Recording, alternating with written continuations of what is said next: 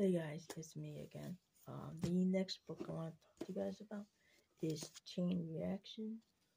Um, I read this way back, I think, in my teens, but um, it's a perfect chemistry um, novels where teens fall in love with each other and they made they are like in a relationship and sometimes it goes downhill, sometimes it doesn't. But um, I really, I really enjoy this one. Um, I read the other ones, and there was another one called Wild Card.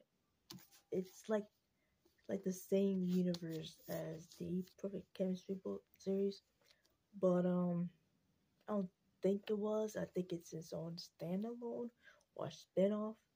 But who knows? Maybe, it is a span of this of, of this series. So chain reaction and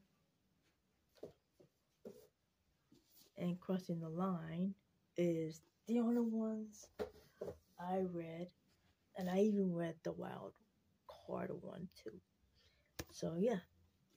So yeah, that'll be it for this video. I know it's a little bit short, but I have to because I just don't want to make it too